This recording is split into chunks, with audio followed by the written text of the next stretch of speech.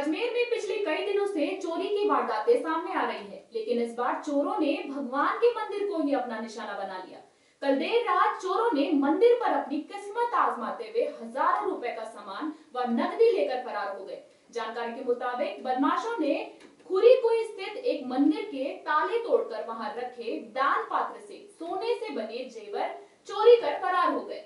विश्वसनीय सूत्रों की जानकारी के अनुसार दान पात्र में हज़ारों रुपए पड़े थे। जहाँ चोरों ने मंदिर से नकदी व मूर्ति के आभूषण लेकर फरार हो गए। मामले में पुलिस ने अज्ञात चोरों के खिलाफ मामला दर्ज कर जाँच शुरू कर दी है। भैया, मैं खारीकुई से बोल रहा हूँ। हमारे झूलेलाल मंदिर में चोरी हो गई। रात को करीब तीन से पाँच के बीच में हुई और लगभग पंद्रह से बीस हज़ार में हुई है। हमारी एक सिल्वर की मूर्ति भी गई है और पूरी पेटी की पेटी उठा के ले गए। ऐसे में हमारे को लगता है ये समय की चर्सी है जो यहाँ से उन्होंने का काम है वही लेके गए। और इसमें थोड़ी हमारे को गश्त की यहाँ पे जोड़ दे। गश्त की थोड़ी कमी होने के कारण से ही ये चोरी हुई है। हमें इतना चाह रहे कि प्रशासन ये जल्दी से जल्दी काम करे नहीं तो हम आगे और कार्रवाई करेंगे।